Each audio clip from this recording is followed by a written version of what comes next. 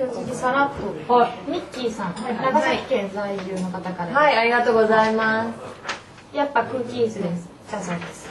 大丈夫。これさ、ミッキーってねし下畑？下畑。からメールが来てるぞ。人の名前勝手に使っちゃダメだよ。怒られた。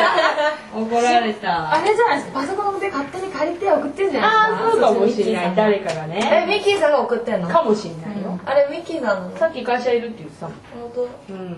ありがとうございこます。れ全部読んでよせっかくこんないっぱい書いてあるのにさ。当じゃあ読みます。えっと、気合の入れ方。はい。いつも楽しく拝見しております。はい。僕の気合の入れ方はいろいろとあるのですが、はい。えー、一昨日はワールドカップを見ていて、不甲斐ない自分の体が情けなくなり、夜中の3時に腹筋を500回やってやりました。そんなド M の僕のおすすめはやっぱり空気椅子です。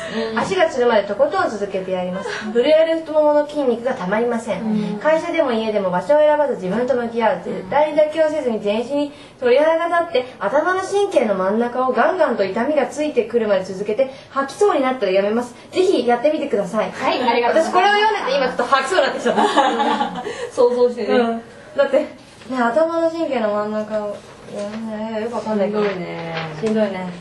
やっぱちょい悪社長の会社はあの大会系だいいね。な。うちと違って、じゃあ最後に、はい。えーペンネーム103さんありがとうございます。えーやっぱり、えーお二人にもゆかり深いロマンポリセさんの投稿中にああタバスコって今度ロマンポリセと対バンするときはぜひ約束の T シャツをお二人にも着てもらいたい。です、う。ん。えーもちろんお互いビンタするのもなしで、ただレナが殺すリサが殺すふ最低2人でも2人は死ぬ計算だと優子さんの決め台詞を叫んでほしい。ああ破くやつね。破けないな、多分。私。で今回も投稿中のね、はいあの T シャツ着た。あー約束の T シャツか何これはお互いに殺し合うっていうこと。ビンタし合う。ビンタし合うんだ。それで破けて倒れるよねいつもね、そうか。じゃあ19日、この前、おきてさんね、お客さんにお尻嗅がしてたのに。やだ。なんかねちゃんと洗ってんの奥さんがねなんだっけ？なな桜んぼの香りのトイレットペーパーを買ってくるんだって。うんでそれを何回もやめてって言ってるのに何回も買ってくるんだって。で俺のお尻のねうん。オキテポルシェのお尻の匂いが桜んぼだったらダメでしょみたいな話をして。でちょっと嗅いでみてってお客さんに。ライブ中？マジで？面白かった。嫌だな。さくらんぼの匂いいいですね。最近マンゴーのティッシュペーパーで。やだよ。マンゴー。やだ。宮崎さん宮崎さんのマンゴーの匂いなの？そこ限定？すごいね。こううちで買おうかとなんかハンドソープとかそういうのはいいけどさトイレットペーパーはどうなの？でも子供は喜ぶんですよね。あの柄が入ってたり可愛いから。あそうなんだ。多分すじゃあ皆さんも。じゃあちょっとそれぞれのほら気合の話をしてください、バニビはさうん。ほらライブ前にね。ああまあやりますね。わーしょいって。やったよね。あれ決めたわけじゃないよね。いつからやってるんだろう。最初の方からやってるけど、うん。何にしようバッショイでいいんじゃね？みたいな。そんな感じ適当にバッショイでいい。んじゃね？みたいな勢いで。適当だね。よっこいしょみたいなそう感じで。2年ぐらい続いてます。うん決めねこれにしようとか決めなかったあそう、うんそうなんだ。でも私もちょっと2個あげたんですけど、うん。うん。ああげたの？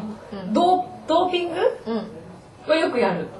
私もその栄養ドリンクと、ははは。と鎮痛剤を飲んでドーピングする。絶確かに。お対にするそれは。飲んでる。緊張しすぎたらもうすぐ頭痛くなるから頭痛薬飲みつつあのあのリポ D のライトうん。でもそれ言っちゃダメなんだって。社長が。あそうだ。なん製薬会社。栄養ドリンクっていう。やあえあそっか。栄養ドリンク。栄養ドリンク。栄養ドリンク。ロートロートなんか出してる製薬だからダメって。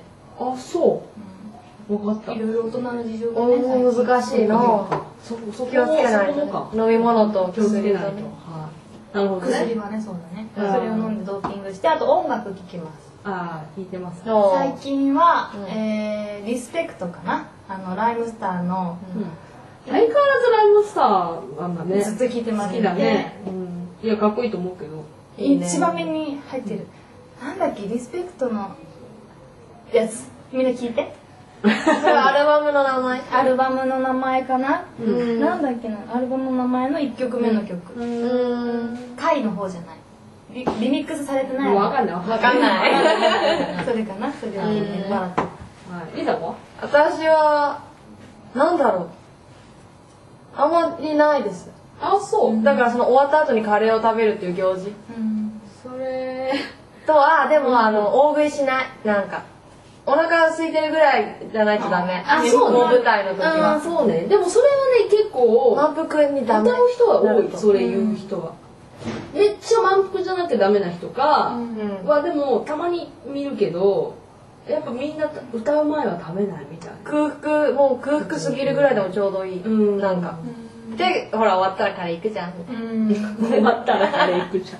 まあこんなね感じかな。なるほど、ね、木場さんは？えー、気合い入れることそんなにないもん。化粧するとか？気合い入ってる。それは打ち合わせの前とかでしょ。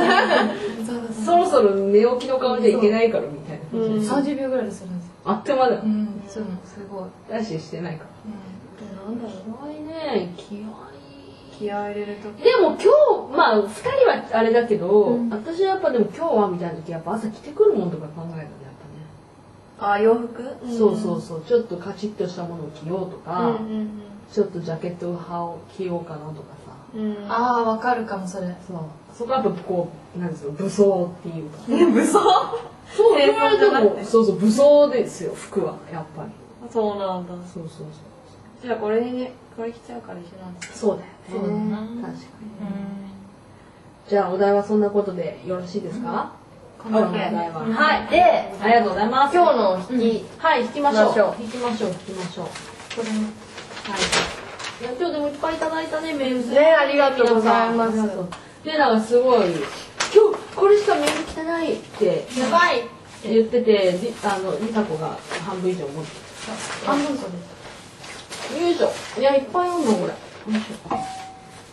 もう住所書いてる人に当たったら面白いんですけどね。加瀬さんでもとりあえずもうさ私たちはいい加減さ送らないとさ半年わーそうだ。じゃあこれ。はーい。あペンネーム103さん。あ、おめでとうございます。おめでとうございます。じゃあ、えっと、お名前とご住所をこちらまで送ってください。はい。お願いします。待ってます。